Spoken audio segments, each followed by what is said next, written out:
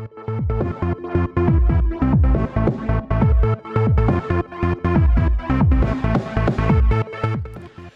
guys, Rob or PaNiiKzZ here, and you are watching a speed art for a Yeousch sports director called Philly Ron. And he came to me about a a sort of NFL style background. Obviously, he's a Philly Eagles fan, and he came to me about having something in that kind of style. And this is what I came up with. So it's got quite a nice sort of teal colour. I don't get to use it very often. It's not something people ask for too frequently, but I'm, I'm pretty happy with how it turned out.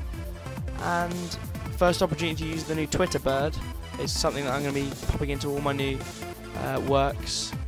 I don't really like it, but Twitter branding is Twitter branding, and yeah, I'm pretty happy with the sort of balance of it. It's nice, and um, I apologise to any Philly fans out there because I put a fella in there that's actually left. Uh, I know nothing about NFL, so my bad.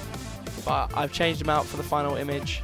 So I hope you guys enjoyed it, and be sure to like and subscribe and all that stuff if you enjoyed it. If you didn't, say why. Love you lots. Goodbye.